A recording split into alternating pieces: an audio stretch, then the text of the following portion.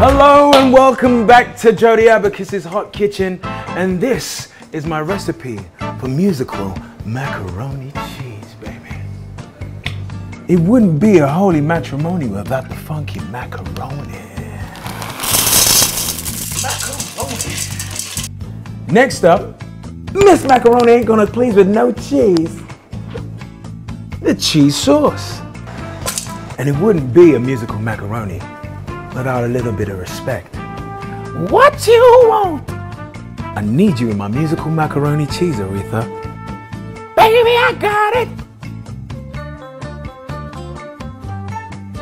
Second ingredients to go into a musical macaroni cheese. We need some Stevie Wonder.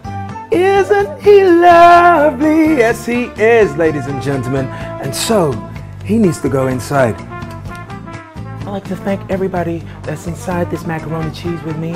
And uh, thank you so much for mixing us around and pulling us together like this on a night like this. Let's add some frilly to this food. We need a little bit of MJ, don't we? And time we put some hee hee into the hey hey, baby.